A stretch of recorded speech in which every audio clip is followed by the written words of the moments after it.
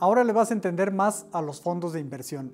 Bienvenido al espacio de dinero inteligente en CNN Expansión.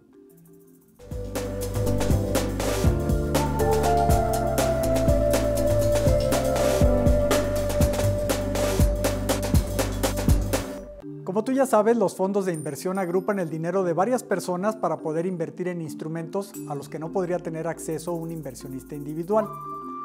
Así, con solo 10 mil pesos puedes comprar acciones de empresas o invertir en otros países, algo que sería imposible con esa cantidad si trataras tú solo.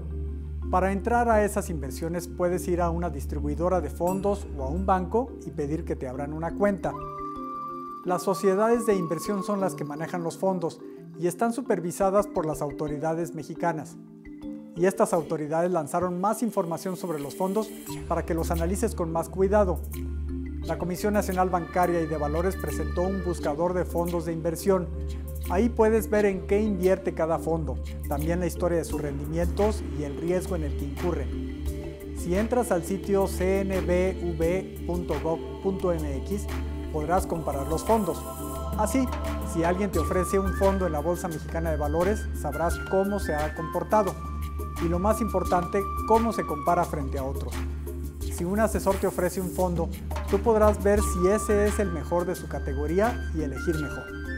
Ahora será más fácil que sepas cuánto te están cobrando de comisión. Si quieres invertir en fondos de inversión, recuerda estos tres pasos.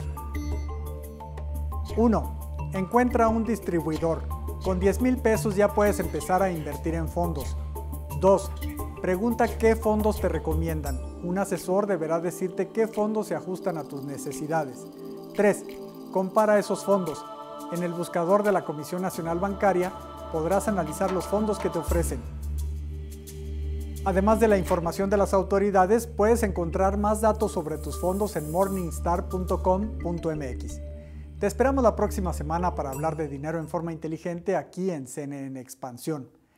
Esperamos tus comentarios en Twitter, arroba quiero dinero.